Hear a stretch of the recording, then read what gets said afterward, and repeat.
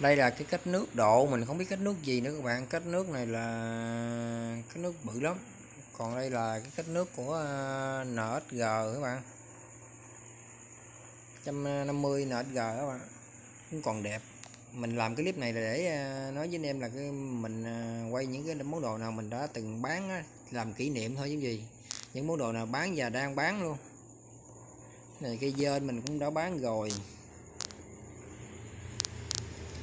Cái này à, dên với à, tạ à, lợt các tăng đa mình cũng bán rồi nha chung mình làm cái clip này để cho vui thôi, để cho mình quay lại những kỷ niệm mình đã bán vậy bạn.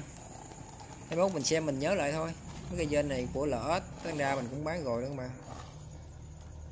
Quay để cho mốt quay rồi xem lại cho nó vui gì kỷ niệm.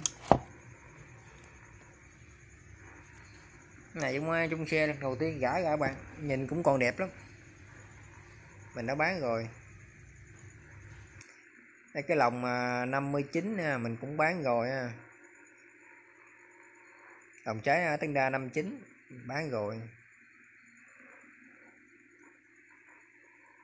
Đây à, bộ điện à, sạc đầy đủ của LSIC luôn ha mình bán rồi luôn ha.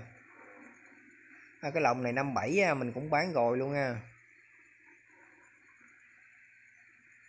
Phuộc mình cũng bán rồi luôn. Tại lúc trước mình không có à, tính đăng lên đây á, mình à, mình để à, bên facebook mà giờ mình nghĩ mình đăng đây luôn. Cái bô này mình cũng bán rồi luôn, ơi, bô đời cao. Cái xe này mình cũng bán rồi luôn, mới mua chạy được có ngàn tám trăm cây giờ mình thấy nó không phê quá mình bán luôn. Quay làm kỷ niệm chơi. Để lâu lâu móc ra, mình nhớ chiếc xe của mình. Mấy cái này mình đo để cho anh em nào thấy đó thì có xem muốn xem thì xem.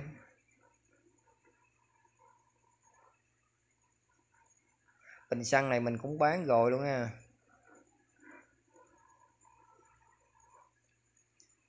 lưỡi gà thì à, đang bán coi đang bán mà à, chưa bán được chưa ai mua mình đang bán. À, cái xe LS này mình cũng bán rồi luôn bạn ơi LS đời thấp mình bán rồi chiếc Mio mình cũng bán rồi rồi. Đó, cái bô nãy mình nói mình cũng bán rồi rồi. À, hẹn à, gặp lại các bạn trong clip sau nha. Mình à, đang bán cái gì thì mình đăng luôn. Cái này tại hôm mình quên đăng nên giờ mình đăng. Hãy ủng hộ mình nghe các bạn ơi. Chào các bạn.